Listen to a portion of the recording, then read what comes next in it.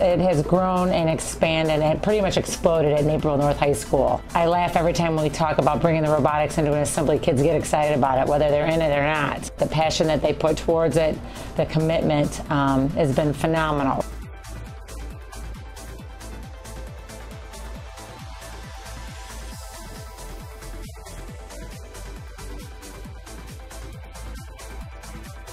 So scouting had this big problem where, actually had lots of problems, you know, just from people having to sit there and type it in, they couldn't watch the matches, we couldn't really read people's handwriting. It was just inefficiency everywhere. Why not make a web app? And then there's just hit and miss buttons, counters for everything. You don't have to write stuff down. It's just counters and radio buttons and checkboxes and stuff like that. It's very intuitive. We just plug in a printer and print out nice graph. Just this year, it saves us, it saved us two, two weeks, which creates a faster process um, in our fabrication it's also very cool. I'm very proud of everything they've been able to do and it definitely amazes me. You know, we can sort of help guide the students a little bit, but already very, very capable all on their own and uh, know a lot more than we ever imagined high schoolers would know.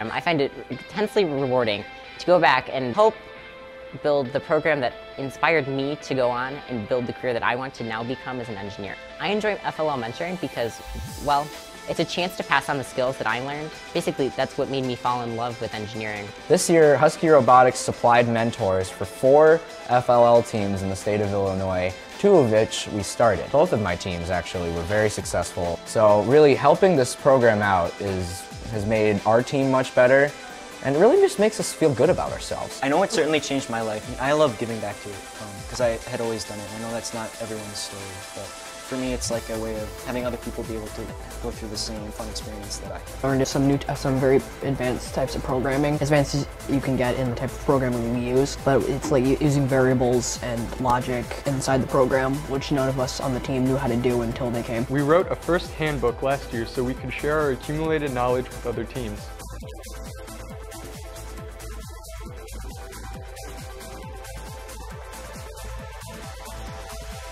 Several of us volunteered at and led a week-long robotics camp at the local Children's Museum. We taught them how to make their own robot and then showed them how to get more involved in robotics, namely through FLL. Yeah.